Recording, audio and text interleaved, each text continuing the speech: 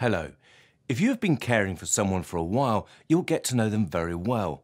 You'll often be able to tell when they become unwell, even if you aren't quite sure what is making them ill. You should trust your instincts or gut feel.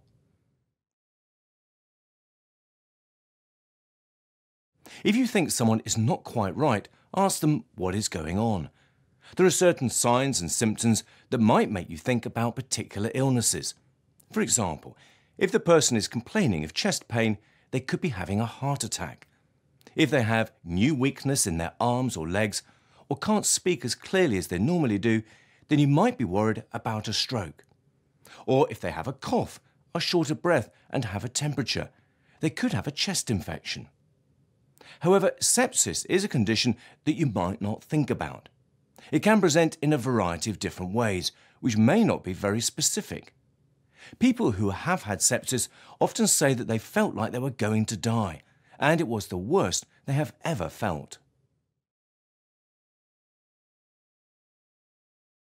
Sepsis is the severe end of infection.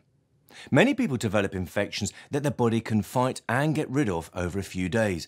But with sepsis, someone's body significantly overreacts to an infection in an unhelpful way. This overreaction can affect all of your vital organs.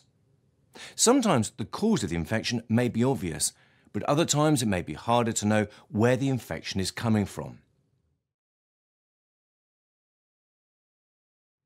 How to recognize sepsis.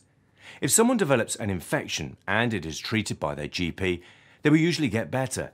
However, if they get worse, you should consider sepsis. Trust your instincts, as you may spend more time with the person than anyone else.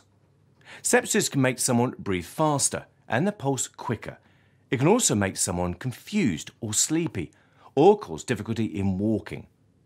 Other signs of sepsis include worsening anxiety, really bad shivering, known as rigors, a rash or mottled skin.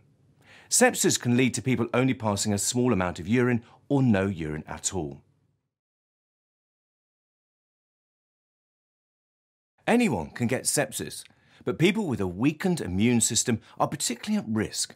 This includes adults over 75 years old, babies under one year old, people with cancer, people with broken skin such as ulcers, patients with long-term catheters or intravenous lines, people on chemotherapy, and people who inject themselves with drugs. It is important to know about sepsis and to seek help promptly. If you are worried, let someone know.